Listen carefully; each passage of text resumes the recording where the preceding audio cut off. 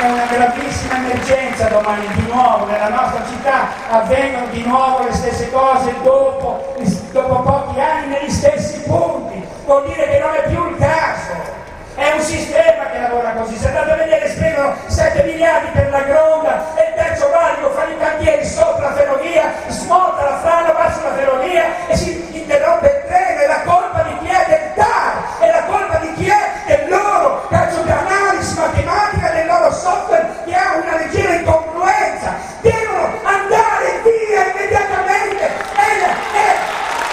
sou Deus.